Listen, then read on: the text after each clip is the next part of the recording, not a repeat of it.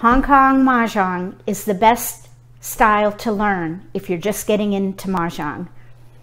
It's a lot like Rummy, four sets in a pair. The sets can be three in a sequence or three of a kind. The combination of your hand overall will determine your score. I'm going to do some random pulls so you can see how the tiles work together. And also, if you already know how to play, this is really great practice.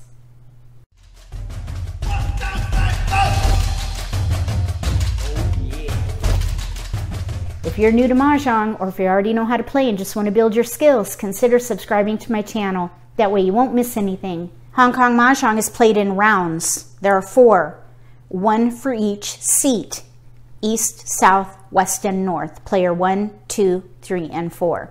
So we'll just say we're the dealer. It's east round. We're going to get 14 tiles.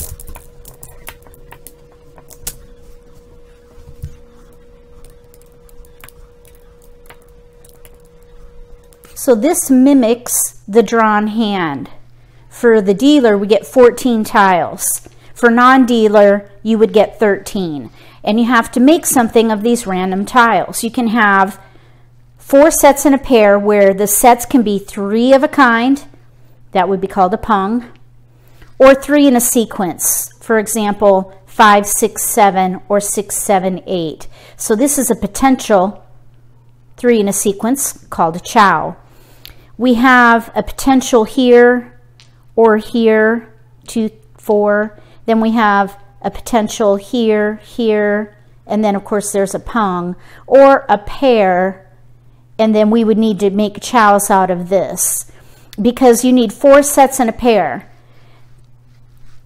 I think that what I would try here is all chow, all three in a sequence. We have one, two, three potential chows and a pair. And then we would need to draw in more potential for chows. That would be a one fawn hand.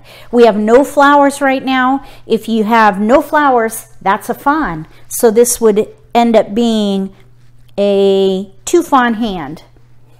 Usually chows are going to be a lower scoring hand. Pungs are going to be a little higher, but we only have one and only one pair. Okay, so that was the random pull for east round. Now we're going to do south round. The reason that's important is because if you have a pair of your seat wind or the wind of the round, you can get score for that. Here's an east. We have a single, and single honors, which are winds and dragons, are not helpful. You got to pair them up so you can pung them. There are no, no chows with honors. You have to get pairs and pungs. Okay, we're going to go on to the next one. South round. Random pull two.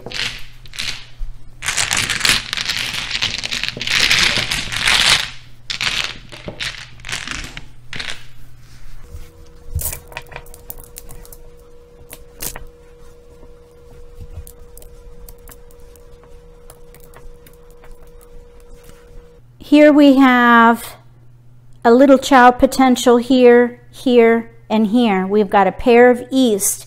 We are in the east seat, and it is the south round. We have a flower, number two. So we'll get a replacement for that. We got a nine dot, which is kind of nice because now we have a potential chow there. So we have one potential chow here, one here, one here and here, and then we have a pair of east. So I think what I would probably try to do, I would try to play my seat wind. If you get a three of a kind of your seat, which is east, you get a fawn for that. So I think that's what I would try. I would chow and go for my seat wind. That would be just a one fawn hand. It'd be pretty low score, but only the winner gets paid. So seat wind, chow. Since we have so many mixed suit tiles, to try to get with maybe one suit with honors, which would be a higher scoring hand, would be a lot of discards.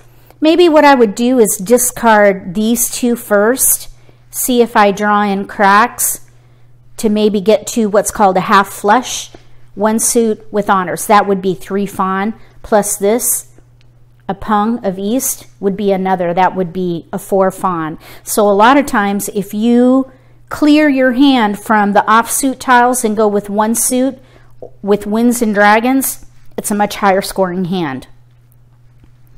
But look at all these discards. That's pretty significant.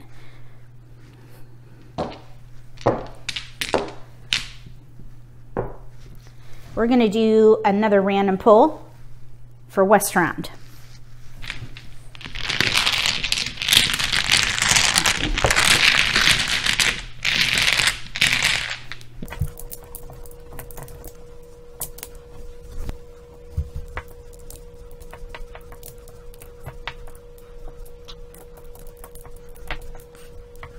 Three flowers two of our own. That's two fawn right there because we're in the east seat.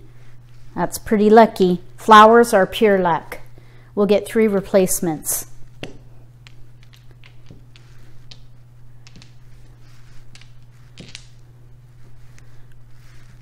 We have three cracks, three BAMs, five dots, and some single honors.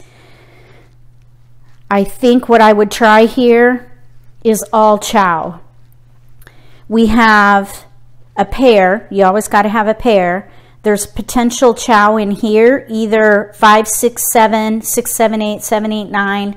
So there's chow potential there, here, here, same situation here. So we would need to draw in more number tiles. I would discard these first and go for all chow. All chow would be one fawn with two flowers. That would be a three fawn hand.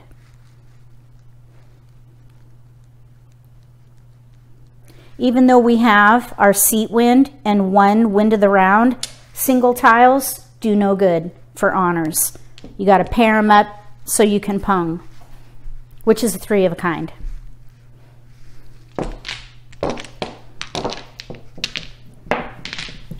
Last random pull, north round.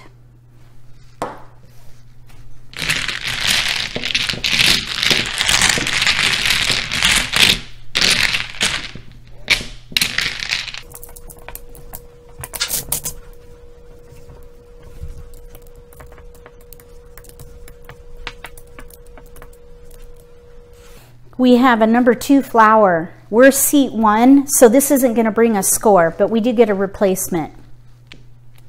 Okay, we have pairs. One, two, three, four. We could potentially play all pung. For all pung, all three of a kind, any of these discarded, we can say pung and make a three of a kind, or we can draw into it. All we need here is one more pair, which I don't think is an unreasonable expectation. Pung, pung, pung, pung, potential. This is north round. If we get a pung of west, that's not going to bring us score, but it still helps us get to all three of a kind plus pair. All pung. That's a three fawn hand, which is decent. I hope that gave you a good idea of what it's like to work with the tiles. Four sets in a pair. Three in a sequence is called a chow. Three of a kind is called a pung. Now, of course, there's four of everything, so you can get a four of a kind. That's called a kong. You always got to get a replacement tile. If you missed the lesson, I go into how all that works. Look for a link below the video. And also, download the player reference with the scoring and a little bit about basic setup and gameplay on the back. If you like this video, give me a thumbs up. If you haven't subscribed to my channel, consider subscribing. Click that little gray bell after you click subscribe so you get notification for when I post new videos. That way you won't miss any opportunities to learn a new strategy or maybe pick up an insight to the game that could give you an advantage at the table. Between now and the next set of random pulls for Hong Kong Mahjong, may all your picks be keepers.